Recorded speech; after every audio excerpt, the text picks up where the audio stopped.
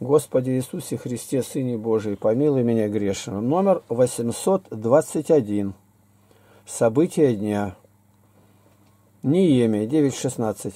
Но они и отцы наши упрямствовали, и шею свою держали упруго. За 14 марта 2018 года. Притча 22.10. Прогони кощунника, и удалится раздор, и прекратятся ссора и брань.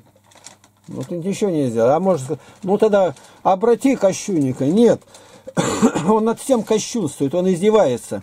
Веры-то никакой нету. Он кощунствует, всю церковь будет еретической называть и анафеме предавать. То есть полное безумие. И ничего нельзя сделать. Только молиться надо. Прогони его, Господи. И чтобы молекула от него не осталось. Тогда все, и удалится раздор. Ссора, брань прекратится. Брань это уже война, бранная. Все утихло. Это мы читаем в Ветхом Завете неоднократно. Поднял восстание, бежал, скрылся в городе. Осада города. Женщина вышла. Почему вы решили этот город, который всегда был советником? Он говорит, такой-то человек. Пошла она, сказала князьям, город будет разрушен. Но он надеялся, его поддержат, его избрали. Тут же голову отрубили и бросили со стены города. Взяли голову, ушли, все, город был спасен. Ничего нельзя сделать. Секир башка, и все освободилось. Владимир Харин. Мир вам! Беседа с Андреем является плодами вашей святой жизни. Вряд ли ваши недруги могут показать такой результат.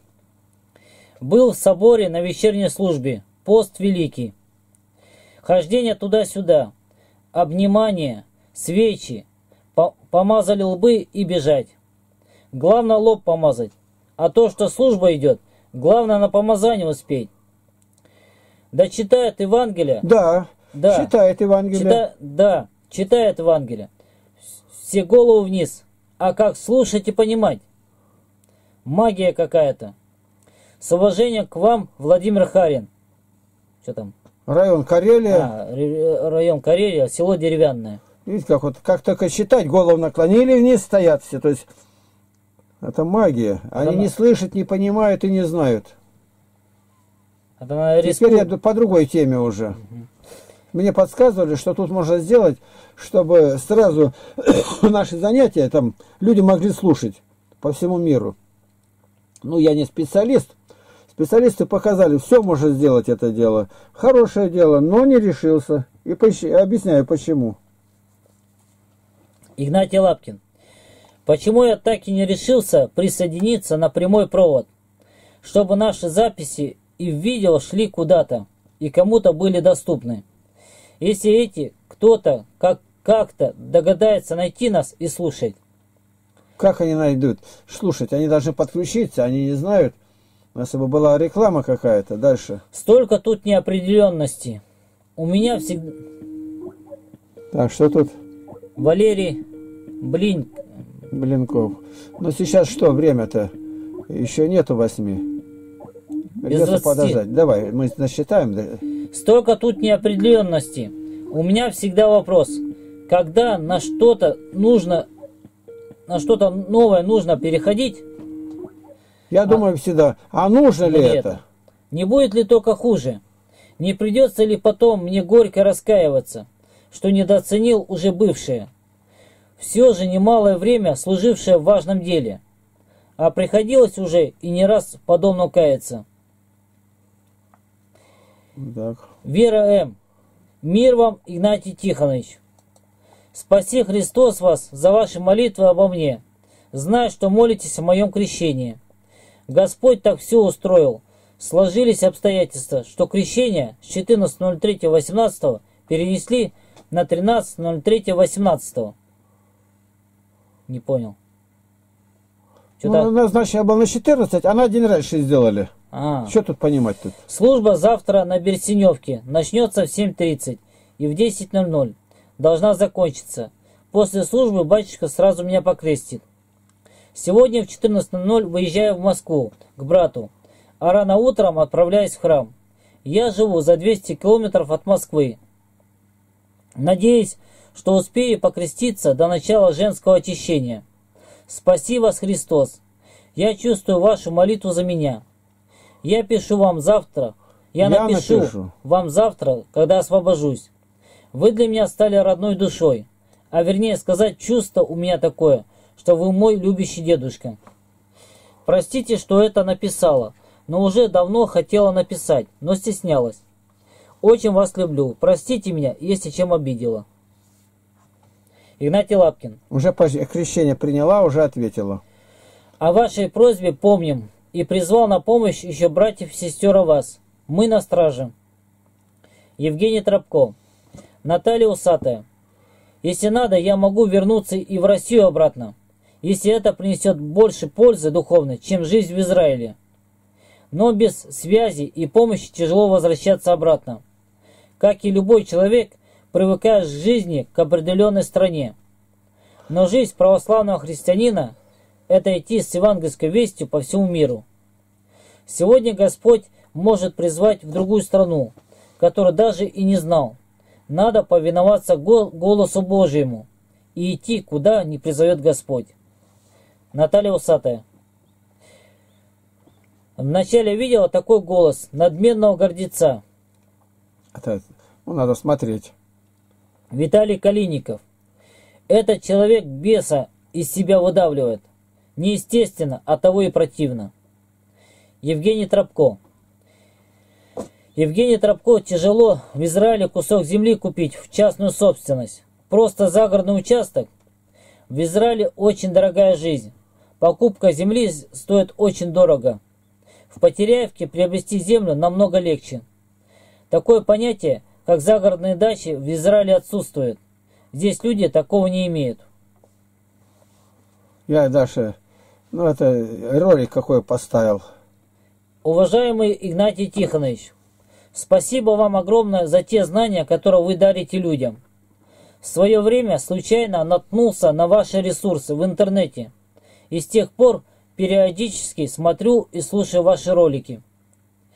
В очень многом я согласен с вами, в некотором сомневаюсь, но слава Богу, хотя, хотя бы слышу те слова, над которыми каждому человеку необходимо подумать в своей жизни.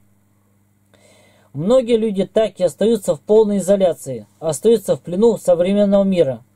Они просто не знают ничего о Боге.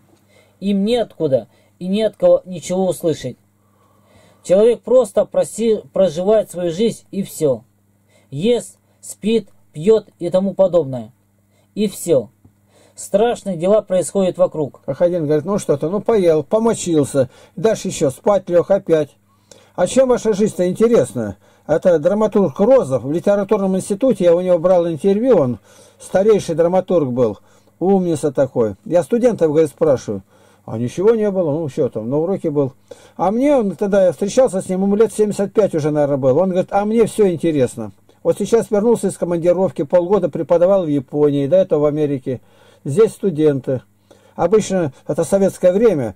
Ну, говоришь, человек боится где-то, а я э, с микрофоном подошел. Да, у меня микрофон из рук взял, прям микрофон говорит и все вопросы задавал, и о масонстве и другое. Умница. Действительно уверен, что ваши труды не напрасны, и мне очень жаль людей, которые называют вас сектантом. А вашу трактовку ветхо-библейских и евангельских событий, а точнее не просто событий, а трактовку истории человечества, эту трактовку называют ересью. Эти люди сами находятся в плену своих страстей и гораздо обличать что-то, от чего они не сделали и тысячной доли. Ну вот они говорят, ну что говорят, нигде оно никакой роли не играет, на меня это не действует, а Бог это все учитывает. Они в пустоте. Я их не ищу, они вокруг меня крутятся, ходят-то. Сегодня только 50 с утра, примерно 50 человек пришлось заблокировать. В ужас приходят они. Значит, что там мы знаем? Если на наше содержание такие деньги тратить. Теперь я уже точно знаю, это подкупленные люди, они вставляют где-то, это надо работать. Время, конечно же, расставит все по местам. Это для мира этого расставит, для земного.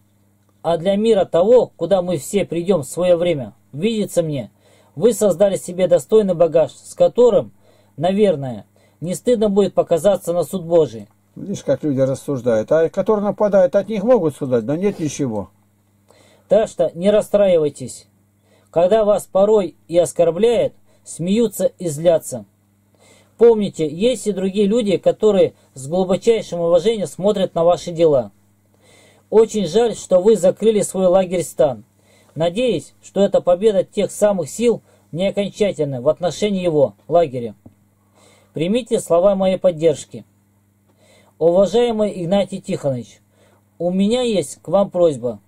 Я попрошу, но вы сами решайте, выполнять эту просьбу или нет. Обиды с моей стороны не будет. Если вас не затруднит, не могли бы вы прислать мне Библию с вашим автографом и, может быть, вашим кратким напутствием? Или как подарок, или, на, или наложенным, плати, наложенным платежом? Воля ваша. Я буду рад и тому, и тому. Очень хочется иметь эту святую книгу с вашим автографом в своей библиотеке. Если вдруг ваше решение окажется положительным, то вот мой адрес. Я выпустил адрес, и проще, ну, на Библии я никогда не расписываюсь, а на своих книгах там я могу дать. И никаких там наложенным платежом я данные выслал. Люди высылают деньги, высылают квиток, подтверждение, и после этого только мы начинаем здесь работать о посылке книг. Зачем мне это нужно? Наложенным. Он не пришел, все пропало, возвращается назад. Юрий Соболев. Игнатий Тихонович, вопрос. Исход 18.1. И услышал я Афор, священник Мадиамский, тесть Моисеев, о всем, что делал Бог для Моисея и для Израиля, народа своего, когда вывел Господь Израиля из Египта. Верно ли назвать Иоафора священника по чину Мелхиседека или нет? Игнатий Лапкин. Не знаю. И этот вопрос никак не касается спасения. И потому меня это совершенно не интересует. Любой ответ на меня никак не повлияет. Серахова 12.9. Не спорь о деле для тебя не нужно. И не сиди на суде грешников. Зачем мне это нужно знать? Он, не он. Да какое отношение имеет, когда все в прошлом? Юрий Соболев. Интересное видео. На любой вопрос лишь один совет – изучать Тору. Ну, ему что бы не сказали, он стоит пожилой, говорит, ну, вот, а к нему наклоняется, а в очередь стоят люди. У меня сын вот учится там, там-то, там-то, то другое. Это хорошо, конечно. Надо изучать Тору. Там молодые там женятся, вот мы хотели благословение там или что-то получить. Правильно, что в семье был мир, надо изучать Тору. И он на любой, на любой вопрос. Но у нас, ну найдите, оригинально, да очень оригинально. Ну почему ты так вот не отвечал-то человек, хотя бы один, о Библии-то, об, про Евангелие? А ты читай Евангелие. Гуру. Гусе, Гусенов Рустам. Мир вам, Игнатий Тихонович.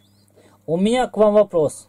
В мужском организме бывает порой истечение, когда мужчина живет без женщины и не грешит. А можно молитвой от этого избавиться навсегда? Или хотя бы укоротить количество до минимума? Надо меньше есть, меньше спать. И поменьше всего этого будет. Просто объявлять пост. Я доктор и прекрасно знаю, что это нормальный физиологический процесс. Но кроме того, я верю в Бога и знаю, как Он раньше укреплял меня словом. А сейчас я в Церкви Христовой и хочу послужить Богу не вялой тряпкой, а железнобетонным рабом, работающим бесперебойно. Вопрос с женщинами окончательно и бесповоротно мною закрыт. Вот это уж я в это не верю абсолютно. Когда так говорят, а значит много думают о женщинах. И где-то рядом уже она ходит. Посты я начал соблюдать. Бороду не порчу. У меня один выход – крепнуть и становиться сильнее с каждым днем, чтобы труды мои не были тщетными. Слава Христу! Дай Бог. У нас как кто я, да чтобы я ушел из общины, да никогда, я уже знаю, это уйдет. Потерявки тоже такие. Да я на мне тут не выковырнешь. Все у меня тут есть, все построено. А что ты ради-то распинаешься-то, я говорю. Это, ну и живут и живут люди. Что ты доказываешь? Я не уеду. В этот же год уехал. И уже этого Миши нету. Наталья Усатая. Да, интересно. Надо бросать Германию и переезжать на землю в Россию а то скоро засохну тут от безделья в четырех стенах.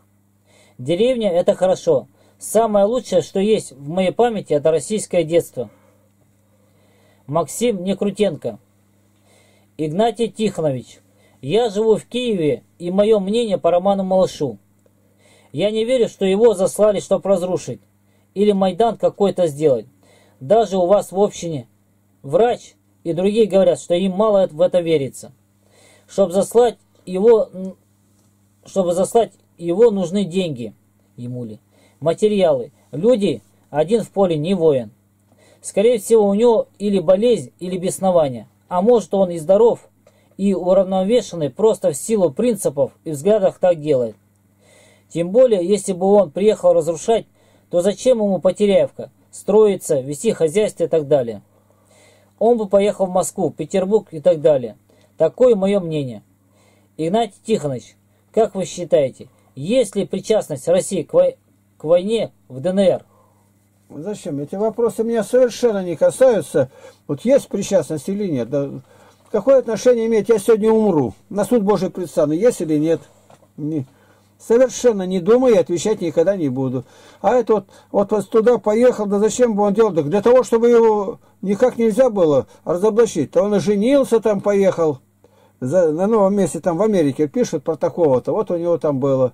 Ну и возьми там Рихард Зорга. Кто там у него и живет как надо с японкой и в огороде копается, чтобы никто не, не, а, не выделялся он. Так это не ответ. Рустам, гуру, мне все равно, что со мной будет. Я готов вписаться под любой сценарий.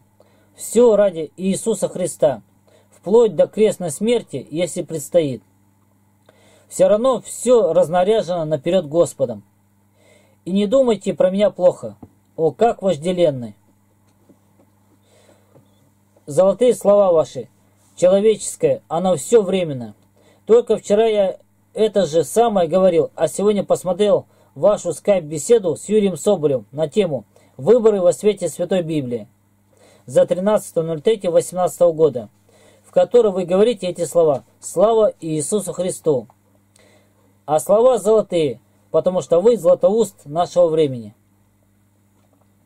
Евгений Тропко. Путь из Галилеи в Иерусалим проходил всегда через Самарию. Может, где-то здесь тропами проходил сам Спаситель. Люди раньше ходили много пешком. Это также делал наш учитель и наставник. Живя в Израиле, должно быть повышенное ощущение Божьего присутствия Христа. Потому что и сами места такие, как Самария, напоминают, где-то здесь ходил и наш Спаситель, умерший за наши грехи в Иерусалиме. Сергей Игнатов. Мир вам. Как-то слушал и смотрел одно из последних собраний Крестовоздвиженской общины, где прозвучало слово Игоря Добунова о том, что заблуждение бывшего брата Романа о плоской земле разделяет один из отпрысков рода Загуляевых. Он не так понял меня. Давший русскому народу талантливых дочерей и сыновей.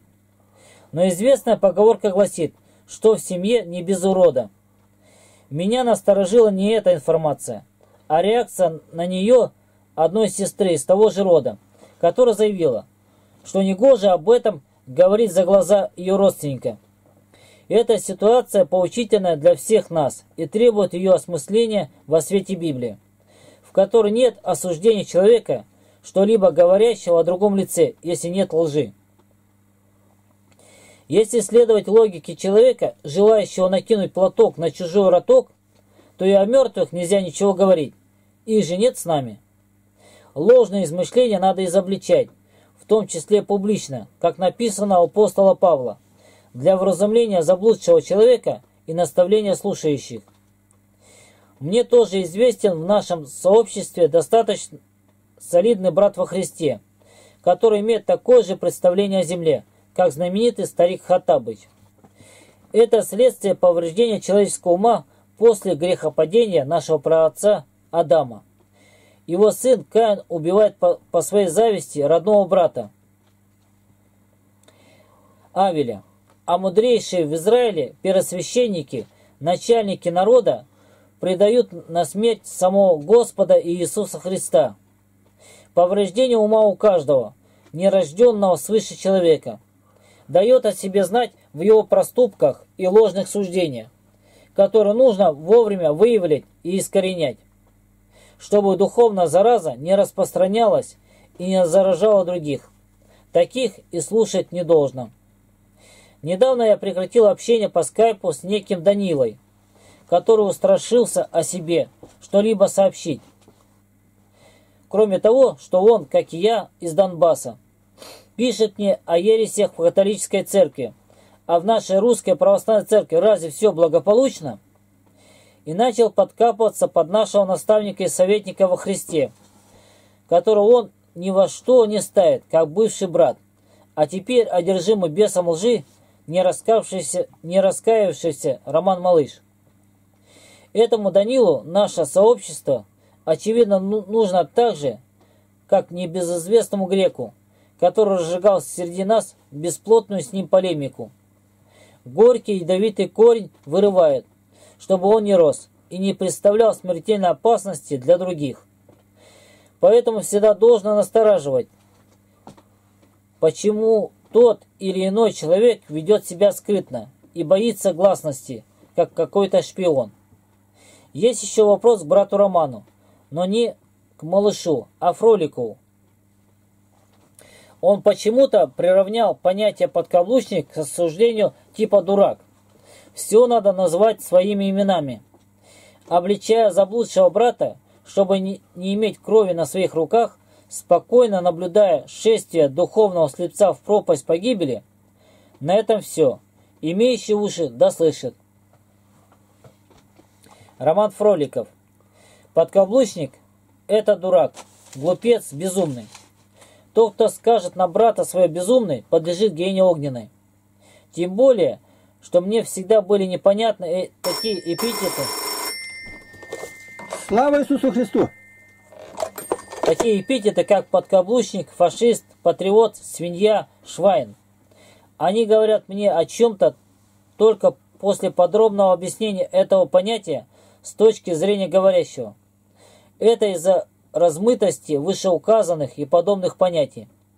Существует много слов, которые конкретизируют неправильное действие брата, которого пытаются назвать подкаблучником, свиньей, дураком. Я не вижу смысла выделять новое слово для обобщения грешников. Такое выделение несет больше эмоциональную, гневную нагрузку, чем описание неправильных действий. То есть, говорящее слово «подкаблучник» без подробного объяснения неправильных действий грешника не поможет ему и себе повредит. Гневающийся на брата своего напрасно грешит. Евгений Тропко если ты все еще признаешь над собой мою власть как духовного отца, я даю тебе другое молитвенное правило. Вместо молитвы Иисусовой произноси каждый вечер сто молитв по своим четкам примерно такими словами или своими словами подобного содержания. Господи Иисусе Христе, помилуй моего брата имя, назови по именам всех близких тебе людей, начиная со своей семьи. С каждым прощением поклон. Когда говоришь о членах семьи, падай ниц. Произноси это сто раз. Если необходимо, повторяй снова те же имена. А последнее прошение пусть будет о всех. Я хочу, чтобы это помогло тебе проснуться и начать любить твоих братьев и сестер и принадлежащих твоей вере. И нет. Ты строишь на своей земле огромное сооружение – котором нет абсолютно никакого смысла. Если в это же самое время ты изгоняешь людей, для которых, предположительно, она строится, строй с любовью и состраданием к людям, и тогда только земное сооружение обретет смысл и будет благополучно завершено. Иеромонах Серафим Роуз. Евгений Тропко. Дорогой брат о Христе Николай, приветствуем о имени Господа нашего Иисуса Христа. Молюсь, чтобы ты правильно питался во время поста и подготовился встретить святые страсти и воскресение Спасителя. В духовном отношении эта часть года для нас очень богата, с долгими службами, с особым образом жизни во время поста, чтениями святых отцов. Я представляю, что все чтения там на русском языке, но надеюсь, что все-таки ты сумеешь извлечь пользу из этой практики чтения во время служб. Здесь мы читаем лествицу, Лапсаик, Абу Дорофея и Житие отцов, святителя Григория Турского.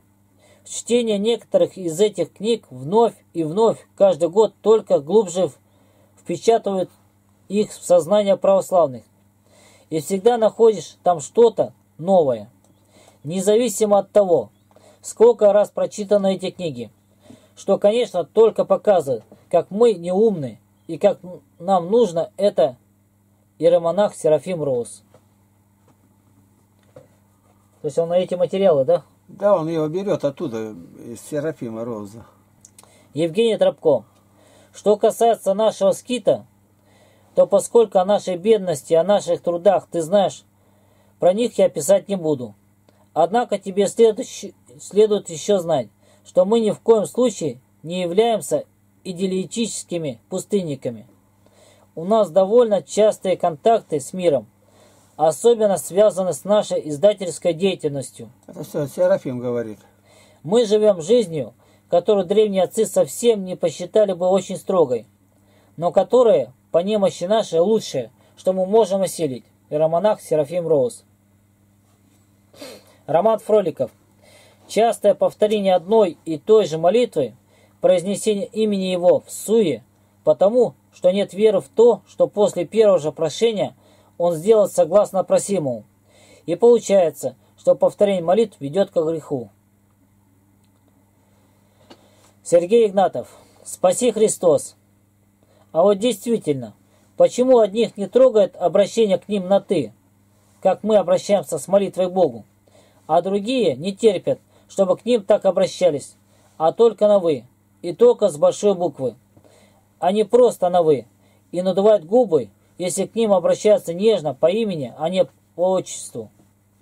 В США даже президента не зовут по отчеству, а у нас в России после нововведения Петра Великого «Мне не тычь, я тебе не Иван Кузьмич». Мне как-то жаль становится тех, которые себе цены, состав... цены составить не могут. Мне-то себе более, чем они есть. И очевидно не любят читать притчи и премудрость царя, царя Соломона о тщеславных и горделивых сынах человеческих. В одном, в одном из псалмов царь Давид написал, что он мудрее старцев, потому что познал закон Божий. Воистину, кто впитал в себя божественную мудрость из Священного Писания, того не заденет обращение к нему на «ты», а не на при, принятое в светских кругах на «вы». Это такой ролик вчера составили Андрей Смирнягин.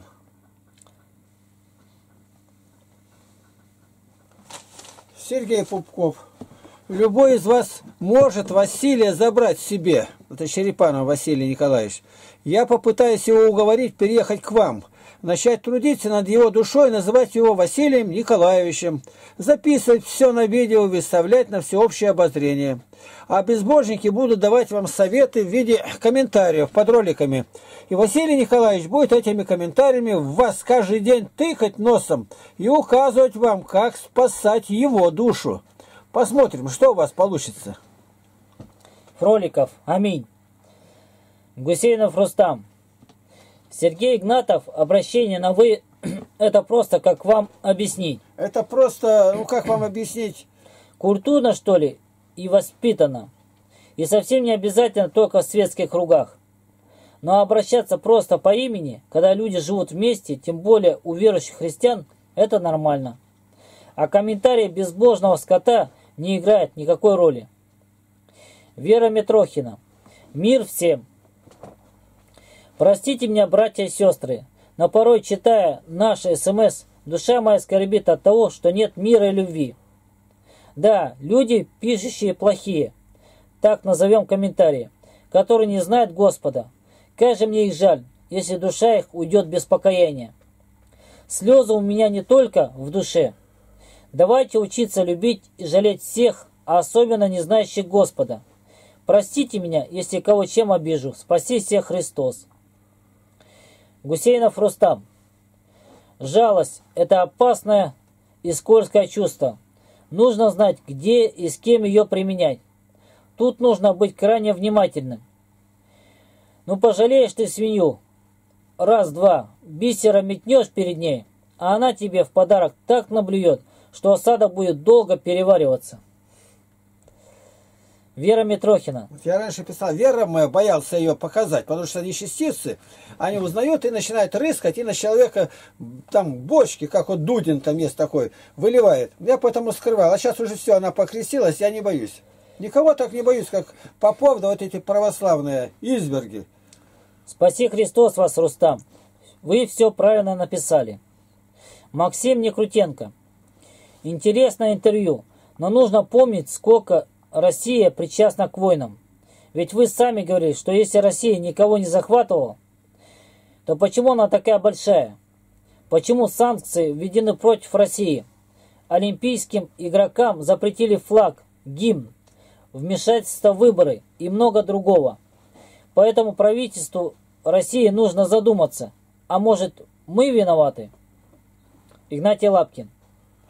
Нам нужно еще привести в порядок, сделать пригодными для гостей 3-4 домика. Но кто будет делать то же, что и в прошлом году было сделано?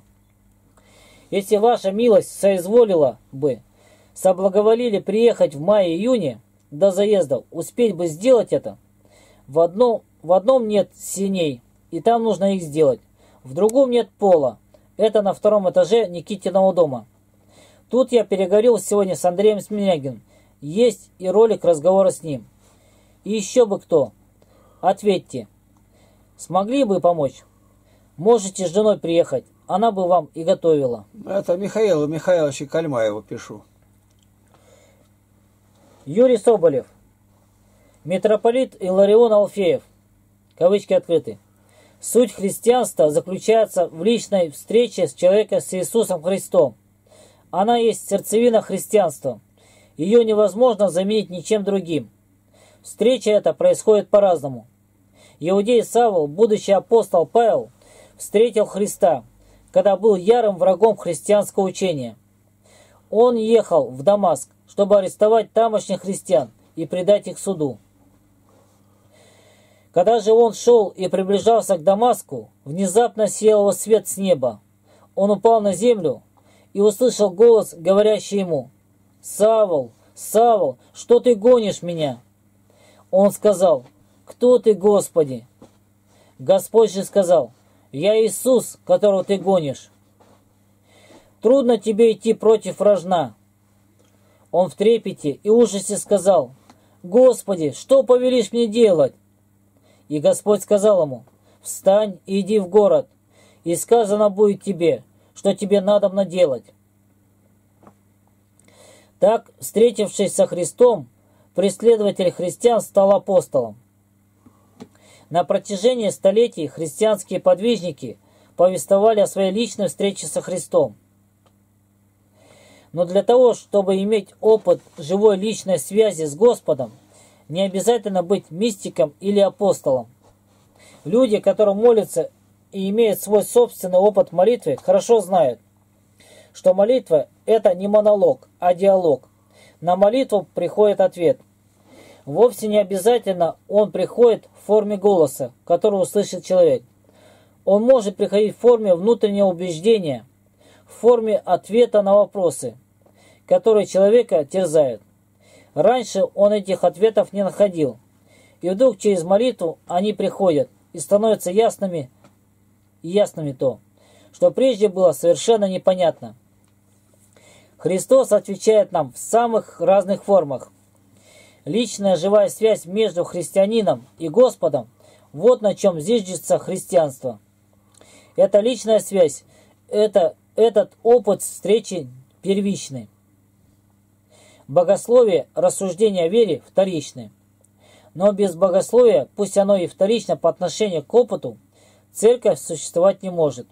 Ведь человек как существо разумное не может жить, не стремясь осознать и осмыслить свою жизнь. Это касается и верующих, и неверующих. Размышление человека над загадкой жизни, над ее вечными вопросами, называется философией. Размышление верующего над тайной собственной веры и собственной религиозной жизни называется богословием. С самого начала христианской мысли философия и богословие воспринимаются как близко родственные дисциплины. Кавычки закрыты. Из выступления в Российском государственном гуманитарном университете 19 декабря 2013 года. Руслан Аббасов. Доброго времени суток. Возник такой вопрос.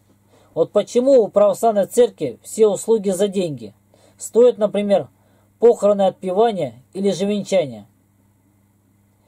Ведь Христос же сказал, даром получили, даром и отдавайте. Но у нашей церкви почему-то все наоборот. Игнатий Лапкин. Потому что эти действия попы не получали даром, а сами придумали. Он же говорит, получили даром, а это как раз Господь и не заповедал, не было, поэтому и берут деньги человеческое. И потому, что устранили святую десятину. Вы лично платите десятину? Если не платите, то вы не просто вор, а святотатец, гнусный и преступный и проклятый Богом. Вот так, нарвался он все-таки. Малахия 3.7. «Со дней отцов ваших вы отступили от уставов моих, и не, соб... не соблюдаете их. Обратитесь ко мне, и я обращусь к вам, говорит Господь Савов. Вы скажете, как нам обратиться? Можно ли человеку обкрадывать Бога? А вы обкрадываете меня. Скажете, чем обкрадываем мы тебя? Десятиною и приношениями. Проклятием вы прокляты, потому что вы, весь народ, обкрадываете меня. Вот почему проклятый. Не я проклинаю, Библия говорит. Принесите все десятины в дом хранилища, чтобы в доме моем была пища. И хотя в этом испытайте меня, говорит Господь Саов. Не открою ли я для вас отверстий небесных, и не изолью ли на вас благословение до, до избытка? Я для вас запрещу пожирающим истреблять у вас плоды земные, и виноградная лоза на поле у вас не лишится плодов своих, говорит Господь Саов.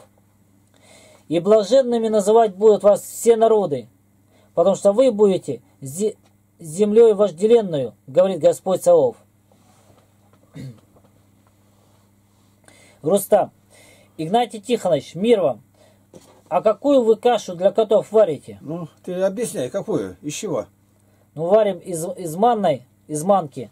И та же из это, Геркулеса. Ну и туда добавлять что-то ры, рыбы мелко накрошить, всегда рыбу. Да, можно, если есть молоко, молока добавляем. Андрей Рогачевский. Что тут скажешь, Игнатий Тихонович, по поводу романа? Только одна скорбь на душе. Печально все это зрелище. Господь судья, слава ему. Виталий Калиников. Ты, брат, не торопись читать ее спокойно. Не делай скоропалительных выводов, подумай. Это он вчерашний ролик, который мы с Андреем Смирнягиным говорили. Владимир Пищиков о книге к истинному православию. Злые языки везде есть, и они не дают нам жить. Ну и слава Богу. Этим только они нас укрепляют. Андрей Смирнягин. Фактически любая строчка о священном писании в Святой Библии обязательно касается каждого из нас – если мы проникнем в ее глубину. Со мной ты воюешь. А я кто такой? Одним щелчком ты меня забьешь. Но когда мы с Богом, а где Бог, там большинство. Полное молчание. Игла. Когда доверие, доверие полное Богу есть, тогда ты доволен всем. Вот видишь, ты хорошо научился как. Глава, стих, четко произнести – Никакой ошибки. То есть у людей нужно создать такую тягу к Слову Божьему. От тюрьмы до цумы не зарекайся. Народная мудрость. Все, что мы сейчас умеем, имеем, знаем, можем, это, конечно, благодаря великому нашему Господу и тем людям, которых Господь посылал на нашем пути. А значит, это и вас, Игнатий Тихонович. Всеми вашими знаниями, всеми талантами, которые вас Господь наделил – вы делитесь, вы раздаете, вы... Да. Ушло куда? Так. Э... Вот вы делитесь. Так, вы делитесь. Вы раздаете. Вы размножаете тем людям, ко- которых вам Господь посылает. Как это случилось со мной. Я познакомился с вами и всегда об этом везде говорю. Я благодарен вам, благодарен вам, Игнатий Тихонович, и Господу за все дела. Андрей Смирнягин. Виталий Калиников. Добрая, теплая беседа братьев во Христе. Роман Фроликов. Кто такой Андрей Смирнягин? Где он живет? Он знаком с Владимиром Пащенко? Ну ты скажи сейчас, ответь, где живет и знаком ли? Живет он в Свердловской область, Артемовский район, село Покровское. Я с ним знаком, через него как раз обратился. Александр Ложкомоев. Представь себе, ложку моет, а фамилии какие? Я не так давно узнал о вас, о вашей общине и лагере Стане. Посмотрел много видео о вас. Весьма удивлен. Думал, такого уже не встретишь. Спасибо, спасибо огромное за ваши труды. Благодаря вам я понял, насколько я слаб в православной жизни и к чему нужно идти. Ну сколько? 41. А где ты, где цифра-то это, 41? Во, Он там вверху? Да. Ну, я не вижу ничего. Ну, на этом на сегодня все.